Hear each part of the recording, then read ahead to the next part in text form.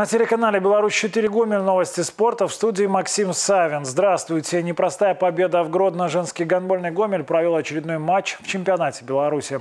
Городничанка смогла потрепать нервы действующему чемпиону. Хозяйки площадки после первого тайма и вовсе шли на сенсацию, выигрывая у гостей один мяч. После перерыва команда Тома Чатера все-таки смогла взять игру в свои руки и одержать пусть и не очень уверенную, но победу 26-23.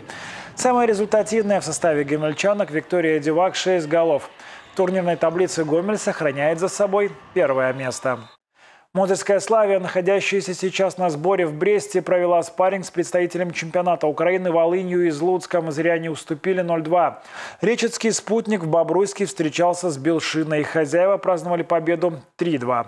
А вот футбольный клуб «Гомель» сумел обыграть своего соперника на поле крытого манежа стадиона «Луч» в областном центре «Зелено-белые» встречались с Дзержинским арсеналом. Дубль Васькова и один гол Батищева принесли победу хозяевам. После перерыва гости ответили лишь голевым ударом Кийко. Победа Гомеля 3-1. Жлобинский «Металлург» и «Витебск» 26 февраля начнут двухматчевое противостояние за право остаться в элите белорусского хоккейного чемпионата. Первый поединок пройдет в Витебске. Начало в 19.00. 28 команды сыграют уже в Жлобине. Этот матч стартует в 17.00. В Гомеле проходит Кубок Беларуси по тяжелой атлетике. Сильнейшие спортсмены страны выясняют отношения на помосте, расположенном в спортивном клубе «Гомсельмаш». Наш областной центр несколько десятилетий не принимал состязаний такого уровня среди тяжелоатлетов. Однако Гомель давно зарекомендовал себя как надежная площадка для проведения детских и молодежных стартов. Поэтому Белорусский тяжелоатлетический союз не рисковал, когда предложил провести столь важное состязание именно здесь. Все довольны, команды, спортсмены. Ну, то есть проходит, проходит все хорошо, все организовано претензий, претензий нет. Поэтому будем дальше в Гомеле проводить э, соревнования, ну, может быть, включая и такого же уровня в дальнейшем. Кубок Беларуси собрал практически всех сильнейших из-за пандемии. У тяжелоатлетов, как и у представителей многих других видов спорта, есть соревновательный голод.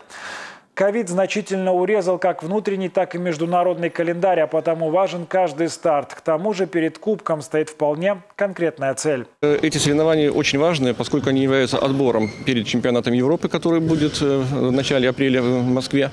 Э, а чемпионат Европы в свое время – это отбор к Олимпийским играм. Поэтому значимость данных соревнований очень высокая. Практически вся национальная команда будет выступать, за исключением, наверное, нескольких человек, которые ну, имеют определенные какие-то микротравмы, поэтому мы хотим их, конечно, поберечь для того, чтобы они напрямую поехали уже на Европу.